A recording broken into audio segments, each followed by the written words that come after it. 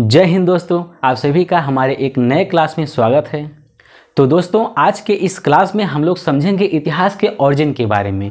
मतलब मानव इतिहास कहाँ से शुरू हुआ और कैसे कैसे इसका विकास हुआ, उसके क्रम को समझेंगे। क्या जिस प्रकार से हम आज मोबाइल चलाते हैं लैपटॉप चलाते हैं, तमाम प्रकार के आधुनिक उपकरणों को चलाते हैं, क्या उसी प्रकार से आज से 20 लाख पहले का जो इंसान था, जो मानव था, जो आदि मानव था, क्या वो भी चलाता था या फिर उनका जीवन का रहन सहन कैसे था? दोस्तों, ज़ाहिर सी बात है कि आज के आधुनिक युग जैसा वह युग नहीं रहा होगा, क्योंकि दोस्तों, वह मानव इतिहास का, मानव जीवन का प्रारंभिक काल था।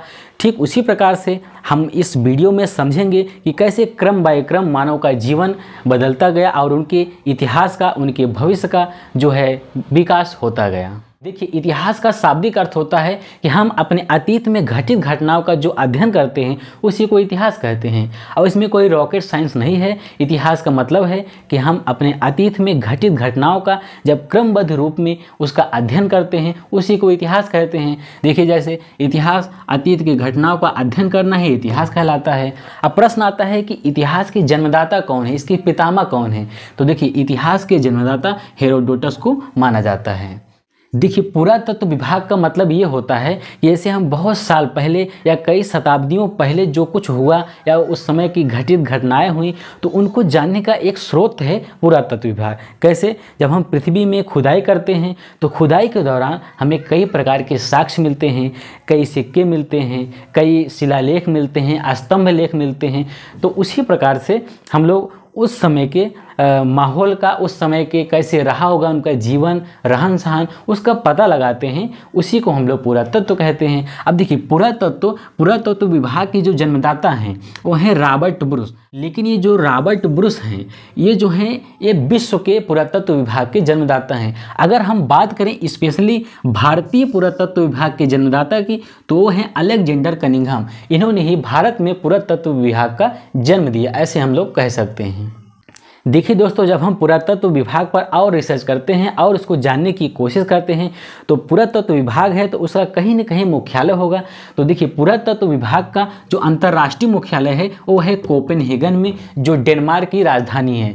डेनमार्क एक यूरोप महाद्वीप का देश है, उसी की राजधानी है कोपेनहेगन, जो कि अंतर्राष्ट्रीय मुख्यालय है। किसका मुख्यालय है? पुरातत्व विभाग का। अगर हम यहीं पर बात करते हैं कि भारतीय पुरातत्व विभाग का जो मुख्यालय है, कहाँ पर है? तो है भोपाल में। देखिए एमपी की राजधानी है, मध्य प्रदेश की राजधानी है, भोपाल।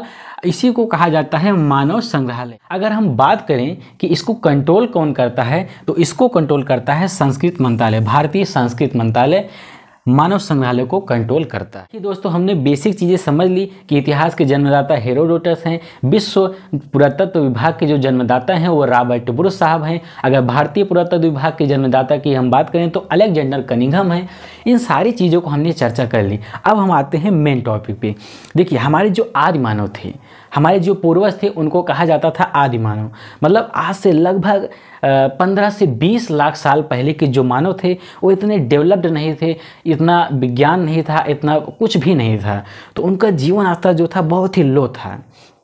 धीरे धीरे क्रम रूप से उनमें विकास होता है और हम लोग आज के वर्तमान समय में पहुँचे हैं। तो हम लोग समझते हैं, आज से 20 लाख साल पहले का जो मानव था, उसके जीवन के बारे में, उससे पहले हम समझते हैं कि जो 20 लाख साल पहले का मानव है, उसके जीवन को यदि हम अध्ययन करना चाहें तो एक सिस्टमेटिक ढंग से देखिए दोस्तों, हमारे इतिहास को अच्छे से समझने के लिए विद्वानों ने इसे कई भागों में विभक्त करके रखा है। उसको समझने का प्रयास करते हैं।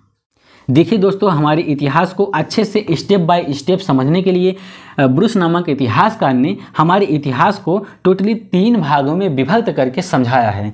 पहला भाग है प्राग ऐतिहासिक काल, दूसरा है आद्य ऐतिहासिक काल, तीसरा है ऐतिहासिक काल। अब हम इन तीनों कालों के बारे में समझने का प्रयास करते हैं। देखिए, जो प्राग ऐतिहासिक काल है, वह लगभग 20 लाख साल पहले से शुरू हुआ और सात हज़ार साल तक चला। यह तीनों खंडों में सबसे लंबा समय काल था मानव इतिहास का। अब इन तीनों को हम लोग समझने का प्रयास करते हैं। तो दोस्तों, देखिए ब्रुस के अनुसार जो इतिहास को तीन खंडों में बांटा गया है, वो है प्राग ऐतिहासिक काल आदि ऐतिहासिक काल और ऐतिहासिक काल। देखिए, प्राग ऐतिहासिक काल की जो खासियत है, इसमें तावा की खोज हुई मतलब तावे का प्रयोग करना मनुष्यों ने सीख लिया। और उसके बाद आधि ऐतिहासिक काल में मनुष्य ने कांसा का प्रयोग करना सीख लिया। उसके बाद जाके ऐतिहासिक काल में मनुष्य ने क्या किया? लोहे